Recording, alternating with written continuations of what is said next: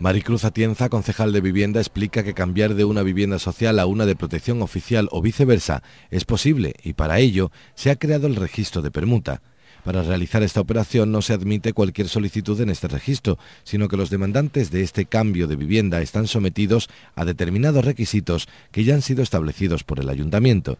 Los criterios que se establecen en este registro son la antigüedad de la petición, el grado de minusvalía, el número de miembros de la unidad familiar, los ingresos de la misma, si residen en una casa regularizada y si están al corriente de los pagos, además obviamente de la conformidad entre las partes. De todos estos requisitos se tendrán en cuenta principalmente el grado de minusvalía o enfermedad que presenten los solicitantes de la permuta, el número de miembros de la unidad familiar y la conformidad entre las partes. El registro de permutas está en las dependencias de Musvil, situado en la calle Real, y los interesados pueden inscribirse allí.